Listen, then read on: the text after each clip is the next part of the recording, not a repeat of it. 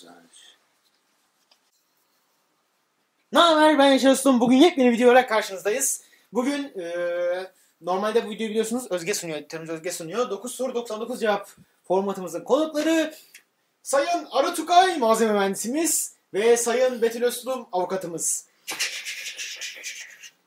Evet efendim eee, cenazeden geldiler kendileri onun için böyle gözlüklüler. Güneş gözlüğü olmadan bizde cenaze kalkmaz. Evet efendim sorularımıza başlamadan önce şu gözlüklerinizi artık çıkartıp kendinizi tanıtır mısınız dedikten sonra ben aradan çekiliyorum sesi kısıyorum.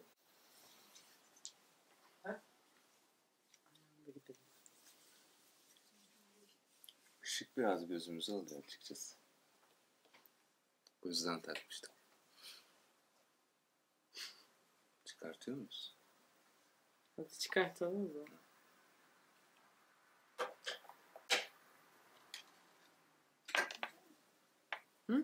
Hazır mısınız? 9 soru 99 cevap. Hazırız. Hazır olmama gibi bir şansımız var mı? Vallahi aylardır başımızın etini yiyorsunuz. Hem editörüm Özge'nin hem benim. Böyle video çekelim çekelim diye. Evet. Peşinize koşuyoruz dersin ya. Yo peşinizde koşmuyor. Siz bizim peşimizde koştunuz gayet de. Şimdi editörümüz bana 9 tane soru yolladı. 9'u da sizi böyle kıvım kıvım kıvımlandıracak sorular. E, bazıları sadece işte birinize bazıları ikinize birden sorulacak, ayrı ayrı sorulacak sorular falan böyle. E, ilk sorumuza başlıyorum. İlk soru bildiğiniz bir soru. Bir tek bu soruyu biliyorsunuz zaten. Böyle hani bir giriş ısınma turu gibi olsun istedim. Bu ilk kamera karşınıza geçişin, kamera karşısına geçişiniz mi? Hayır. Benim bu kanalda kendi formatım var. De bir zamanlar. Formatımı kaldırdılar galiba. Ee, Kültür sanat koltuğu, İstanbul Sözleşmesi. Onun dışında mesleki olarak bir takım basın açıklamaları. Öyle. Bir de bir kere Kanal D'de çok güzel hareketler bunlarda yorum yapmıştım.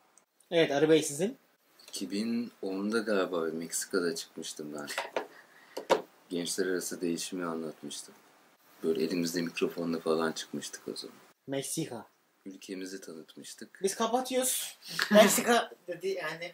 Ne yapalım? Yok profesyonel değilim bu konularda. Şimdi ikinci soru o zaman sizi zorlamaz. Yani Meksika'da çıkmış bir adam. Meksika'da bir e, röportaj vermiş bir adam. E, kendini hiç önemsiz hissetmiş mi? Bu durumda neler yaşayıp nasıl kurtarmış? Bu soru ikinize birden geliyor. Aa, Taş, kağıt, makas yapalım bence. Buyursunlar. Önce size geldi. Arı Bey. Yani sonuç olaraktan bu hayatı yaşadığımız sürece yaşadık tabii böyle bir durumu. Filozofumuz. Ailemizin filozofu. Yani onun dışında kitaplar okuduk, kendimizi müziğe vurduk, konsere gittik, filme gittik. Yani bir türlü geçti, gitti. Bir kısmını hatırlamıyoruz bile. Yani ben şahsen hatırlamadığım o kadar çok şey vardır. Yani hayatı yaşamak önemli ama yani çok vurucu bir darbe gelince de kaçamıyorsun tabii. Yani tecrübelerimizi bunlar bizi ayakta tutan şeyler. Tecrübelerimiz bunlardan geliyor. Gocunmuyorduk, gocunmuyoruz da hala da. Çok felsefe yaptı ya. Evet Betül Hanım sizdeyiz. Yo. Aslan bu- Bu nasıl? Aslan Burcu yani. Geçtim soruyu tamam. Üçüncü soru. Evet üçüncü soru size geliyor Betül Hanım. Arı Bey siz ağzınızı kapatacaksınız bu soruda. Ee, üçüncü sorumuz malzeme mühendisliği nedir? Sence? Hadi. Soru eksik. Pardon. Metalurji ve malzeme mühendisliği nedir? Çok Aynen malzeme mühendisliği deyince böyle bir akla böyle bir malzeme geliyor yani. Ee, meteoroloji ve malzeme mühendisliği benim e, sevgilimin mesleğidir. Bu kadar. Başka bilgisi yok. Çok iyi cevap verdim ama bence. Ee, şimdi şöyle aslında hayatımızda kullandığımız her şey birer malzemeden oluşuyor. ben malzemeyim o zaman. Sen de ne Evet. kullanıyorsun?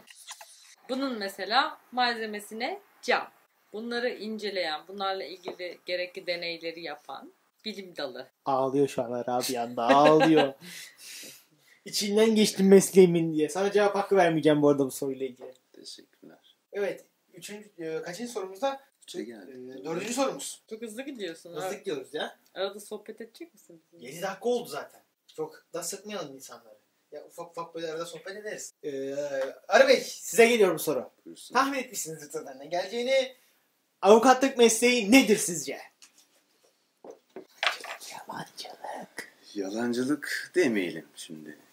Ha, Böyle demeyelim keserim orada. Yok gerçekten yalancılık başka Yok, meslektaşlarına gerçekten haksızlık- yalancılık dedi bak şu an. Orayı kesince ben. Haksızlık etmeyelim öteki meslektaşlarına. Ha bizimki yalancı yani. Estağfurullah yani. Ya estağfurullah aynen demek biliyorsunuz yani sözlük anlamı. Profesyonel yalancılık mı diyelim? Yani profesyonelin de kelime anlamına bakıldığında o işten para kazanılması manasına geliyor. Yani para karşılığında yalan söylüyorlar. Bunu mu anlamamız gerekiyor? Yani bizim gibi garibanları hak hukukla işte böyle belirli noktalarda ipten alan güzel insanlar. Belli noktalarda ipe götürüyorum. Ona ne diyeceksiniz? Avukatımızı seçmenin önemini burada vurgulamak isterim. Mesela ablamı seçmeyeceğiz. Kartını vereyim. Evet. Ee, Arabayı fazla sıkmadan, kaçırmadan topukları bir tarafına vura vura ee, beşinci soruya geçiyorum. Evet beşinci soru ikinize birden geliyor. Önce ablam cevaplasın sonra Rabia'ya geçeceğiz. Çünkü sıra onda şu an. Hayatta en çok utandığın, rezil olduğun an. Bu soruyu bana da sorduk daha. Sen buna cevaplayamamıştın. Evet. Hayatta en rezil olduğum an. Tepeden dairesiz geçecekmiş şimdi.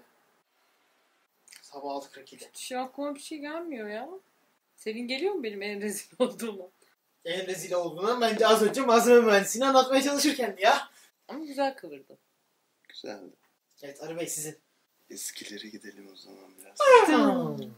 Şimdi biz burada İngilizce olaraktan silgiyi işte rubber olaraktan falan öğrendik. Ondan sonra hani çok sıklıkla veya çok sıklıkla değil nadiren hani razor olaraktan telaffuz ediliyordu. Öyle hani kullanmıyorduk çok fazla. İşte yurt dışındayız ilk gittik liseye. Yalnız bütün e, kötü anıları şeyleri de yurt dışında ha yani. Bir Avustralya'ya gitti şimdi neredeyiz Amerika'da Biz mıyız? Türkiye'de çok fazla bir şey Amerika'da. yaşamadık. Hep evdeydik. Gitarımızla böyle tıngırdatıyorduk gitarımızı. İlk derste böyle kimseyi falan tanımıyorum. Amerika'da bu arada lise. İşte yanında bir tane kız oturuyor. Ben tabii hiç o gün kalem defter falan götürmemişiz Türk haklı olunca. Tabii döndüm hani silgini alabilir miyim için işte rubber olaraktan o cümleyi kurdum. Sonra bir kıpkırmızı oldu kız. İşte dalga dalga arkaya benim arkama işte yan taraflara gitti. Böyle biz bütün sınıf böyle bir benden dalga geçme moduna girdiler. Bir şey de anlamıyorum hani. Kurduğum cümleden eminim, istediğim şeyden eminim. Yani önünde duruyor çünkü silgi. Ondan sonra arkamdaki dürttü. Dedi hani senin söylediğin şey bizim dediğimizde prezervatif anlamına geliyor. Yani bunu da sınıf ortamında isteyemezsin. Bir de işte orada o 17 yaş muhabbeti falan var. Ondan sonra orada bir yerin dibine girmiştim. Ben şimdi bunu başta yazabilir miyim? Sınıf arkadaşımdan prezervatif istemiştim diye. Yok öyle yazmıyor. Yani en böyle kaynar sular döküldüğü zaman oydu. Adamda hikaye var ya. Bu Amerikanlılar için falan ayrı bir şey alalım ya. Video çekeriz. Evet. Amerikanlara deyince aklıma hep e, babaannenin köpeği ezmesi geliyor. Onda iyi sıyırdı. Onu bir sonraki şeyde anlatırız. O zaman 6. sorumuza geçiyorum. Var mısınız? Yakuz desek kapatıyor muyuz? Biz dükkanı kapatalım. Bir şey itiraf etmek isteseniz ne olurdu? Ee, 20 saniyeniz var. İkiniz de 20 saniye içerisinde cevap vereceksiniz. 20 saniyeniz başladı. Birbirimize mi genel mi? Genel. 5 4 3 2 1 0 6 ayda basardım nikahı da işte koşullar. Bitti süreniz. Bir şey itiraf etmeniz gerekiyor Ben gittim. Seni seviyorum. Bir itiraf olmadı belli yani. Görüyoruz yan yanasınız, dip dibesiniz. Neyse bu çok istediğim etkiyi yaratmadı ama neyse biraz morardılar, kızardılar falan güzel oldu yani hoşuma gitti. Evet yedinci sorumuza geliyoruz. Yedinci soruyu ilk önce Arı Bey cevaplayacak. En nefret ettiğiniz suyunuz. Ablana göre kıskançtım. Bence de o. Kesin yani net. Anam düşüyordum lan. Deprem oldu. Yani sevdiğimi, Kıskançlık dedik deprem oldu. sevdiğimi evet maalesef en kötü uyum o yani. Beni çok kıskanıyor biliyorsunuz mu ya? Seni ayrı seviyorum. Evet. Ablam cevap verdi. Ay ben çok çabuk sinirleniyorum ondan. Aa, bu nefret ediyormuş bu huyundan. Ben bunu hatırlatırım. Kayda geçti değil mi? nefret ettiğin şeyleri niye yapıyorsun ki? Yapmamalısın. Evet. Uyum ki nefret ediyorum. Evet yani bir de biliyor sinirlendiğini. Bir sinirlenir uf. Mesela bu videoyu bile zorla çekiyoruz an. Baskı altındayım. Evet. Kendi beyanlarınla çelişiyorsun. Videonun başında nerede işte çok ısrar ettiler de falan da filan da biz Evet. zorla aldık. Şimdi diyor ki biz burada kamera karşısında zorla tutuyoruz. Hayır, zorla Beyanlarımız arasında ki. çelişki var. Kamera arkasında ben zorla tutuyorum dedim. Hayır öyle demedim. Hayır ben zorla tutuluyorum dedim. Öyle mi dedim? Kayda geri dönebilirsek. Önemli. Vara gidiyoruz. Mesela bu videoyu bile zorla çekiyoruz an. Baskı altındayım. İzlerken görürsünüz. Evet. 8. sorumuza devam ediyorum. Hazır mısınız? Hazırız. Bizim hiç sohbet etmiyor. Biz de iyiyiz. Sağ ol. Nasılsınız? Sağlığımız yerinde. Çok şükür. Ne zaman evleniyoruz? En kısa zamanda. Kazım abi! Kazım abi! Hemen uyandık ya. Kazım Kurt şurada oldu. Şu yakınlarda bir yerde oturuyor. Gökmen'den sağlık ocağında vermiş, aşı olmuş. Selam olsun buradan da. Sayın Kazım Kurt belediye başkanı Sevgili bu belediye başkanımıza. Kıyı versin hikaye işte. Gelsin. Bu Arkadan arada gelin. Arı Bey'in adı gerçekten Arı. Ha bir de o var. Vız. Böyle arı. Şimdi onunla ilgili de bir soru var zaten. Evet. 8. soruya geçiyorum. Birisiyle tanışmak için ürettiğiniz en saçma bahane. Arı Bey size cevap hakkı. Yani çok öyle bir şeye girmedim ama en yakın olarak hani ablam var bu durumda. Instagram'dan yürümedim ama yani. Yürümedir. Oh. Alev atmadı, alkış attı. Alkış attım yani o şekilde. Ama bahane sayılır mı? Sayılır. Sayılır. Say yani. Yani koşuyordum da alkışa yetti cesaretim. Öyle değil. Alev atanlar zaten yok ya. Ya Yanıyor. o kadar kek olmadım yani. Alkış. Alkış. Evet Betül Hanım sizin. Ben bunun devamını şey yapayım. Bayıldığın anı mı anlatacaksın yoksa? Ceza konusu. Hayır ya! En rezil olduğum ana geri dönebiliriz. Ee, Bak şey, iki şeyin cevabı birden çıkıyor burada. hayır onu anlatmayacağım tabii ki ya. O çok off the record bir olay yani. Hani Bayıl, burada- bayılmış numarası yapmayın. Evet ya benim öyle bir şeyim vardı. Konserlerde kulise girebilmek için Güvenlik falan dövüyordu. Bir gün Zakkum'da güven... güvenliği Zakkum konserine gittik bir gün. Ee, içeriye çok girmek istiyordum. Sonra neyse güvenliğe şey yaptık falan. Güvenlikle de bir gün hastanede karşılaşmıştık. Ondan sonra adam orada tanışmış sohbet etmişiz. Neden bilmiyorum. İşte benim hasta olduğumu düşünüp beni kulise almıştı sağ olsun. Buradan da o güvenlikçi abi. Zakkum'da da bir tanesi tuvaletteydi çıkmadı. Hangisiydi o? Solist. Döndüler sonra gene hepsi. Yok Ama- bir tanesi tuvaletten çıkmadı. Solist solist. Şey adını Ben hatırlamıyorum şu an. bateristle fotoğraf tutmaya çalışıyordum. Biz Duman'da hep arkadaydık. Ben hiç nadir Duman'ı önden izledim mesela. Biz hep beni önden salıyorlardı. Ee, sahnenin en önüne geçiriyorlardı. Tabii Çünkü öyle yaptık. O, o- şimdi Zakkum konserinde kadınlar erkekler ayrı yerde arıyorlar tamam mı? Yaşar da küçük Yaşar önden erkeklerin taraftan gönderdik. Hep kadınlar sırası dolu. Sonra dedik ki bizim çocuk gitti. Ama e, Arı'nın hikayesini tamamlayayım ben. Arı bana alkış attı Instagram'dan sonra da burada biz tanışıyorduk yani hani e, tanışmak değil de hani farklı formatta tanışmak diyelim. Görücü usulü. Ender Bey'e selam olsun. Canım Ender Tugay. Ondan sonra şey yani hani tanışıyoruz, ismen biliyoruz, aynı kulüpteyiz vesaire. E, sosyal ortamlarımız aynı ama hani hiç birebir de şahsi diyaloğa girmemişiz. İşte görücü usulü. Arabanı alkış attıktan sonra normalde Ankara'da yaşıyor. Ben Eskişehir'deyim. Şey dedi işte ben de Kütahya'dayım. Kütahya'da mısınız dedi. Ben de evet dedim. Dikkatli gelin lütfen dönecekseniz falan dedi. Ben de aa evet işte teşekkür ederim falan. Sonra birden dank etti. Dedim ki ben niye bu arkadaşla kahve içmiyorum? Bir kahve içecektik konu nerelere geldi. Sonra kahve içelim diye konuştuk. Sözleştik vesaire. Oturduk şimdi. Onu anlatabilir miyim? Anlat. Kahve içmek için oturduk benim çok sevdiğim bir kafede. Maskesini çıkartmıyor. Ve bana hala siz diyor yani oturmamızın 10. dakikası falan. Hatta maskeyi ortadan yarmış kahveyi oradan pipetle içiyor yani. Garson geldi ne içersiniz dedi. Ben Americano dedim. Sonra arada böyle bana da dedi. Falan neyse ben dedim ne güzel sade kahve seviyor falan. Sonra tabii aramızdaki samimiyet arttıktan sonra bir öğrendim ki arı kahve sevmiyor. Bu da böyle bir anımızdır. Ağzına sağlık. Ne güzel anlattım değil mi? Şimdi hazırsanız 9. ve en baba, en sıkıntılı sorumuza Kan grubu geçiyorum. A pozitif. Abi, AB Eray. pozitif. Bu soruyu soraymışız yanlışmışız. AB Onu da ayrı bir formatta alırız can. Ama onu cezalı yaparız. Limon suyu mu? Tekiler. Sonra YouTube'dan sana. Yok sıkıntı olmuyor ya. Meyve suyu, meyve suyu deriz. Şey yaparız. Heyecandan, heyecandan değilim. Ee, dokuzuncu sorumuz. Son sorumuz. Videomuz yavaş yavaş bitiyor. Zaten bayağı bir oldu. İkinize de geliyor bu soru. Ve e, düşünmek için yaklaşık 30 saniye süreniz olacak. Aşk hayatınızı 3 kelimeyle özetlerseniz bu 3 kelime ne olurdu? Özel isim veya hayvan ismi kullanmak yasak. 30 saniyeniz başladı. Özel isim hayvan ismi kullanmak Bir. Bal Hayır, yapan 30 saniye canlı. başladı. Bal yapan canlı dediğin şey 3 kelime oluyor zaten. Hayır yani. 3 kelime dedik. Tamam da kelime grupçu kelime sayılır. Oha! Balcı. Bitti mi senin? Hayır. Sadece 30 balcı. saniyenizin 10 saniyesi kaldı. Balcı. Ha? İsmin değil, aşk hayatını anlatıyorsun ya. Üç kelime vermeyeceğiz. Üç kelimeyle aşk hayatınızı anlatacaksınız. Süreniz doldu hadi. Üç kelimeyle aşk hayatınız. Lavanta, mandalina, 20. Aa, bal. Kolonya 7. Bal kolonya yedi. Evet. Bal kolonya yerse ne olur arkadaşlar? Bal lavanta kolonyası. Şimdi bal mandalinalı lavanta kolonyası yerken 27. Daha içeriğinden istiyorsan huzur. Bütünleşmek. Biz yani aşk hayatımızda bir şey. Biz. Yani.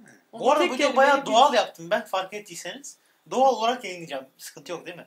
Evet.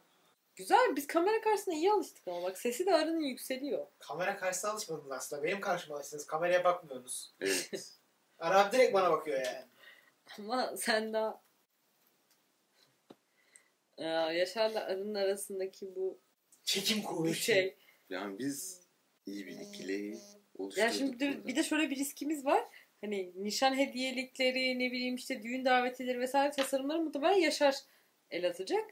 Böyle hani Betül Arı yazmak yerine Yaşar'ı falan yazabilir. Ay büyük bir şekilde sona falan. Güzel olur aslında. ha. Hayır. Olmaz. Soruyu kaçırdım. Soruyu cevapladınız. Ha, verdik. Ha, tamam. Biz. Başka Bir yaptık. Biziz Biz. yani. Ben daha güzel şeyler bekliyordum. Bana elleri. Bunlar- Aşk eşittir biz. Ya da Şimdi o öyle olmuyor aslında. Bu üçü bizim için çok yani, derin olan şeyler. o derine girersek bu video bitmez. Yani bir 72 Derin, saat. derin, çok derin, derin. Aramızda sesi en güzel olan kişinin asla şarkı söylememesi ama ikimizin ara ara şarkı söylemesi Yaşar'la. Ya şimdi o neden biliyor musunuz? Aramızda sesi en güzel olan kişi bu arada ismi lazım değil. Barış Harfi. Ama neden şarkı söylemiyoruz? Söyletmiyoruz. Telifi o söyleyince telif yiyoruz. Yani gerçekten sanatçının sesiyle söylediği için mesela burada size bir duman söyler. Evet, yani duman Kaan söyler. Tangöze'yle sesi aynı. Bana bir gün Yaşar bir gün bana gitar çalıp şarkı söylerken video attı. Ben uzun bir süre Kaan Tangöze'nin kendisini ayırt etmekte zorlandım. Sonra Sevgilisini bu kadar tanımıyor. Evet bunu da görmüş olduk. O zaman çok yenildik ama. Bana ilk defa şarkı Yok söylüyordu. video attım ondan sonra. Ee, gönderdiğim bu arada kendi yazdığım. Bir ta- Şey, onda yok, bekledi yok, bir şey. gittiği de attı. Evet. Bekledik diye at. Kendi Ben yazdığı de. şarkıyı biliyorum. Onu biliyor muyum ben? Dedim şimdi kesin. Yani. kesin. Sizin Kendime kendi- telif atmayayım burada. Onu çalalım bir gün ya. Bulurum. Yani çık- Şey yaparız. E, Ender abiyi şeye geçiririz. Bateriye. Sayın Ender Tukay'ı bataryaya. Sayın Akademi Başkanı. Sayın Akademi Başkanı. Sonra e, Arı ile Yaşar gitarda. E, anneler Gitar vokalde. Ben öğrencimle çok gurur duyuyorum bu arada. Kendisi iki haftada çok büyük yollar aldı. gitar bozdum. Gitarımız eski. Gitarı bozmadı. Gitar kendi kendine. Gitarımız orijinal bir hani eskilerden böyle bir gitar. Buradan şimdi ismini vermeyeyim. İsmi lazım. İsim verebilirsin. 96 Fender Telecaster. Ya işte. Biliyorum. Neyse bu videoyu kapatamam. Bizi sevdin mi böyle dinlerken? Sevdiniz mi bizi? Buna yorum yapılması lazım. Biz teşvik ihtiyacımız Siz işte paylaşacaksınız kendi sosyal medya hesaplarınızda izleyeceğimiz videoyu. İzlenirse çekeriz. İzlenmezse niye çekelim bir daha video değil mi sizde? Çünkü bizi seviyorsun. 6 izlenenimiz vardır herhalde. Tabii. Tukaylar. Tukay Tukay. Öztulum Öztulum. E buradan sevenlerimize de selam yollarsak. Yani vardır bir 3-5 kişi de çıkar yani orada. Neyse e, video bu kadardı. Videoyu beğenmeyi, yorumlarda video hakkındaki görüşlerinizi belirtmeyi unutmayın. Yorumlarda, e, yorumlar değil. Açıklama bölümünde benim, Özge'nin falan filan Instagram hesaplarımız dolu. Böyle Instagram hesap doldurduk aşağıya. Onları takip etmeyi unutmayın. E, dedikten sonra sağlıcakla kalın canlarım. Sizleri seviyoruz. Görüşmek üzere.